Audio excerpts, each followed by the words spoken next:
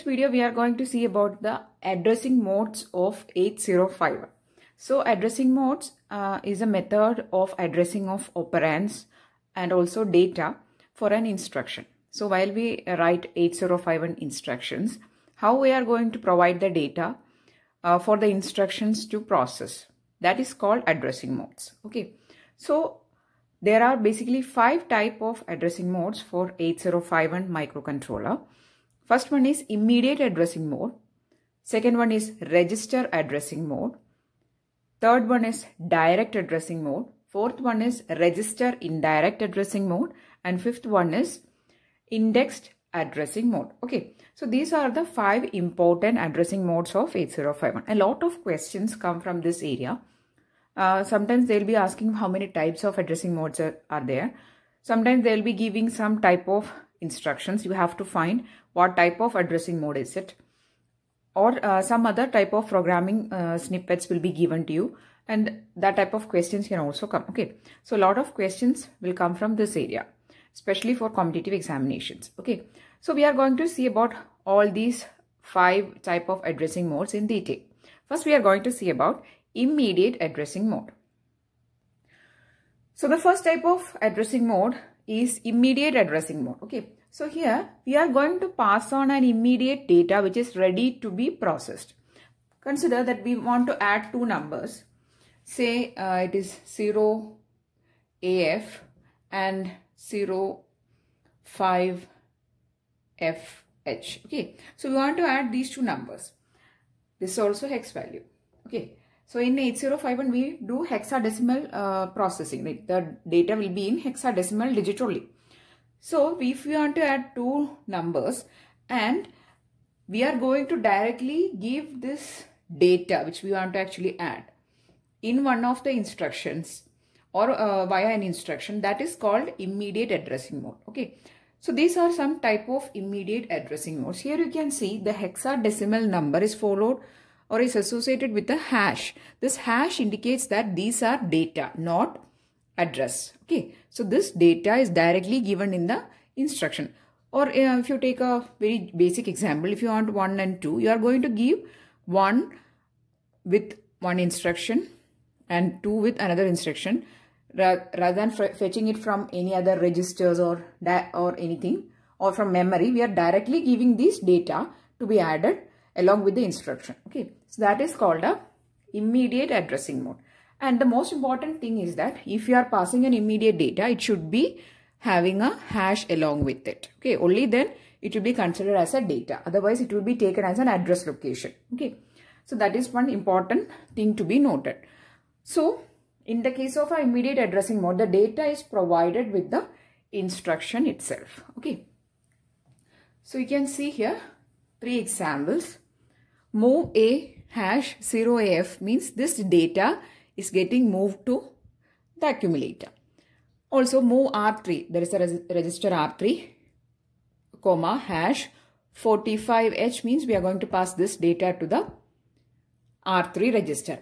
Also, to the data pointer register we can pass that is a 16-bit data. Okay, so we'll be passing that. So these type of movement or these type of addressing mode is called immediate addressing mode. The data is directly given along with the instructions. Okay. So that is the immediate addressing mode. The addressing mode is a register addressing mode. Here, either the source or the destination data is present in the registers R0 to R7. We know that there are registers R0 to R7 organized as various register banks actually. So, here source or destination can be register. Okay. So these are the some examples of uh, register addressing mode. Here you can see for the first instruction, move a comma r5 means the value of r5 that is whatever data is present in r5 we are going to pass that to a. Okay. So here you have to remember that the data present in R5 is getting moved to accumulator.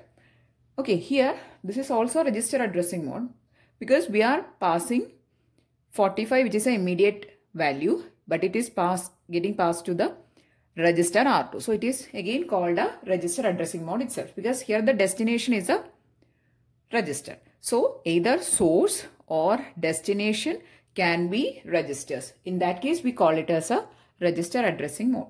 Here you can see the data of accumulator is moved to R0. Again, the destination is a register. So it is called a register addressing mode. So for register addressing mode, you have to remember that either source or destination should be present in registers R0 to R7. So that is called a register addressing mode. The next addressing mode is the direct addressing mode. Here, the source or destination address is specified and from that address we are going to take the data. Okay, so that is the that is direct addressing mode. That is directly we are going to give the address of either source or destination. Okay, so consider the first instruction here move 80H comma R6. Okay, so we are going to move the data present in R6 to the memory location 80H. So 80H actually refers to your port 0. So there are four ports, port 0, port 1, port 2 and port 3. There are four ports for 8051 and port 0 address addresses 80H. So we are going to pass on the content or the data present in register R6 to 80H which is port 0. So we are going to pass on that to port 0 and port 0 is not uh, given uh, in any other way but the address is given here. So you can see here since they are address there is no hash associated with the hexadecimal bit or the data. Okay. So this is address locations. So that's why there is no hash. So first one is likewise. The next instruction move R2 comma 45H. So 45H is the address location here. In From that address location, we are going to take the data and we are going to pass on to the register R2. Then third one is also similar to the second one, but only the difference is the address we are going to take is 05H. From this address location, consider there is an address location 05H. From that, the data we are going to take and pass to R0 register. Okay. So that is called direct addressing mode. Here we are directly giving the address locations from which we'll be taking the data. The fourth addressing mode is register indirect addressing mode. It is somewhat uh, connected with the direct addressing mode. In direct addressing mode, we have directly given the address location. But here, the address location is given in some register which will be specified in your instruction. Okay, so we'll take the first instruction which is move a comma at R1, right? So consider that the value present in R1 is equal to 30H. So this 30H is a address location. So the 30H is actually the address location from where we are going to take the data and we are going to pass that to the accumulator register. So that is actually been done using move a comma at R1. Okay. So we have not directly given 30H here, but this 30H we are going to store in another register R1, which we will be specifying in the instruction. Okay. So the 30H or the address location from where we want to take the data is stored in a register and that register is given in your instruction. So that is called register indirect addressing mode. Okay. So move A comma at R1 and R1 is having the address location from where we want to take the data. Okay. Similarly, this can also be done for the destination, right? So move at R1 80H.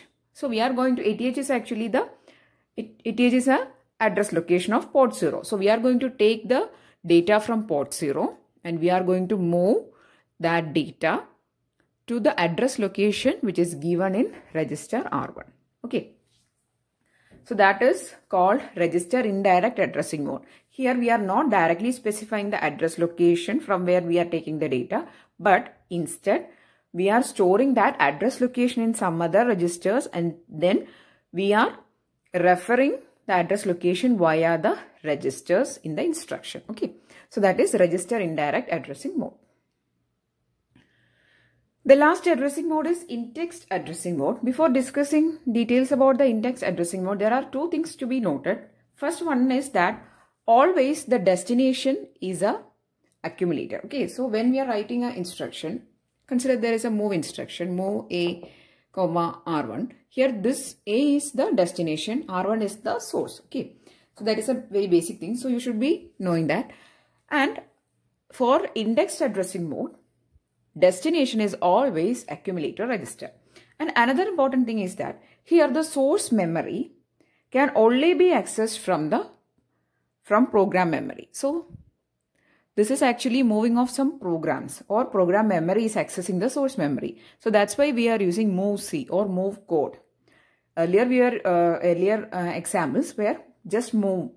So that was movement of data. But this is move code. So it is a program memory access. Okay.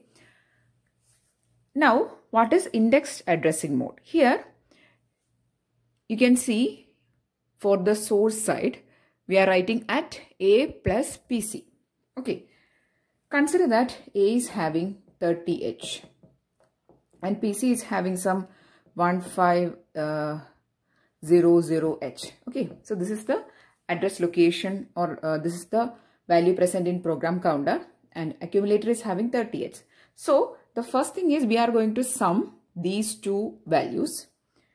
Okay, we'll take another value for this one. Okay, we'll take uh, 1004h. Okay, a random number I'm taking. So this PC is having 1004h and a is having 30H. Okay. So, first we'll be adding these two values and then that result is the address location from where we are going to take our data. Okay, so for this case it is 1034H, right? And this is the address location. So we have added the value present in accumulator and also in program counter. And then we have obtained some result. And that result is actually the address location from which we are going to move the contents to the accumulator. Okay. So that is called a indexed addressing mode. And similarly we can do this same with dptr also. That is the content of DPTR and accumulator is added and then we'll be getting a resultant memory location from where we are going to shift the contents to the accumulator register. Okay, so this is called indexed addressing mode.